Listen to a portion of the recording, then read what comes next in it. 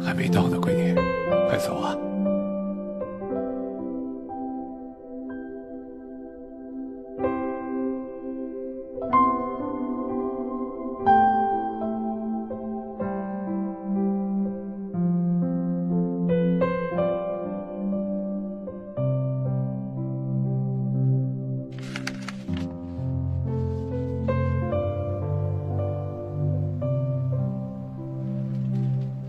昨晚我会为我昨晚的事负责的。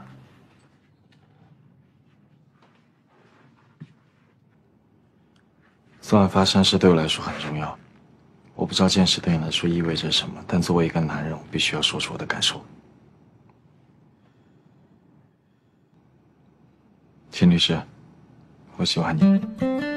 你，你刚刚说你喜欢我，嗯，真的真的去，你感受到我喜欢了吗？我可能需要再确认一下。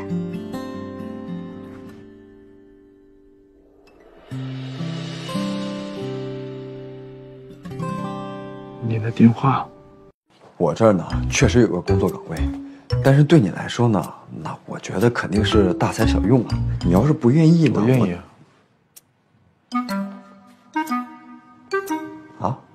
秦师，我再跟你说最后一遍，这个案子以我们为主，你没什么事，你赶紧给我走。本来呢，做律师又不是只是在漂亮的办公室里穿着整齐的套装，然后打打电话、打打字这么简单啊。怎么了？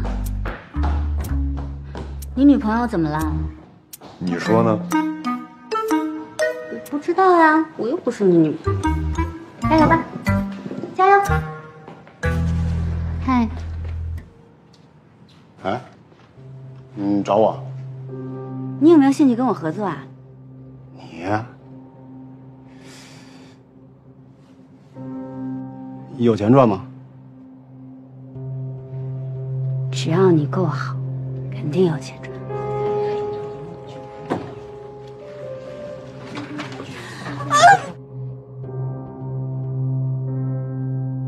哎，你没事吧？没事吧？你没事吧？没事吧？你你被人投诉了，你知道吗？我被谁投诉，你自己干了什么事情，你自己不知道吗？